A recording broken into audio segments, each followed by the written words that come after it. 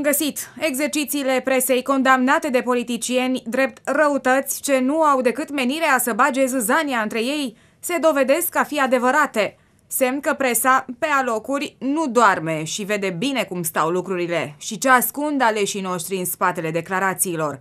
Domnul liberal Crin Antonescu dezmințea acum o săptămână speculațiile jurnaliștilor bazate culmea chiar pe surse din partid cu privire la schimbarea unor miniștri. Iar acum asistăm la ce credeți? Decapitarea lor. Dacă până acum liberalii au închis ochii la faptul că Ponta nu a acceptat nicio măsură de-a lor menită să dinamizeze economia, spun ei, iată că electorata a înfuriat teribil conducerea PNL-ului. Supărat că au pactizat cu Ponta și partidul lui, Crin a schimbat câțiva miniștri. Și uite așa a început de ieri să cadă câte un ministru.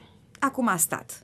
Dacă unii nu vor să plece de la conducere în ruptul capului, alții nu au putut îndura umilința și și-au dat demisia.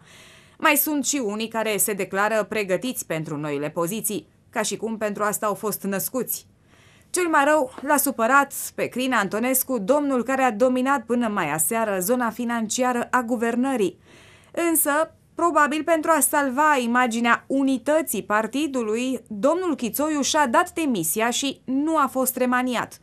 Inclusiv Crin Antonescu a ținut să infirme categoric ipoteza că domnul Chițoiu ar fi fost înlocuit fiind prea apropiat de Victor Ponta și PSD sau din cauză că doamna Chițoiu este urmărită penal.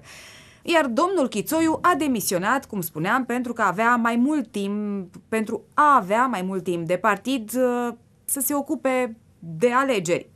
Greu de crezut, cel puțin având în vedere disproporția uriașă dintre ceea ce a pierdut și ce a primit. O poziție importantă în partid, cum spuneam, aceea de secretar general interimar care presupune cel mai bun control al filialelor.